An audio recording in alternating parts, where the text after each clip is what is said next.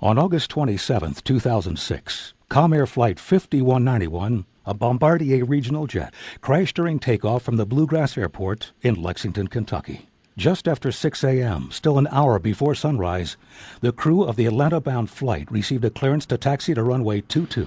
The taxi route would take them across the arrival end of nearby runway 26. Only 3,500 feet long, runway 26 had no edge lights and was limited to day VFR operations.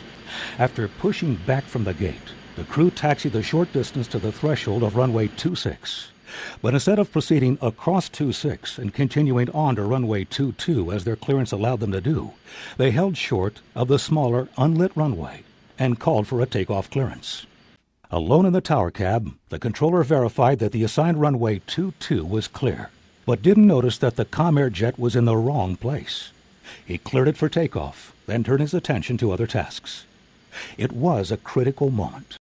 Failing to notice the runway signs and markings that should have tipped them off to their mistake, the pilots lined up on runway 26 and set takeoff power. By the time they realized the problem, it was too late.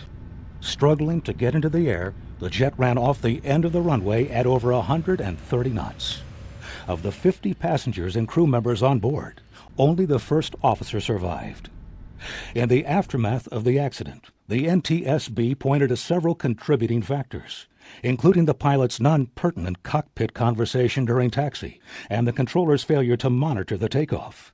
But in this case, it was ultimately the pilot's failure to maintain situational awareness and take simple steps to verify their position on the airport that sealed their fate.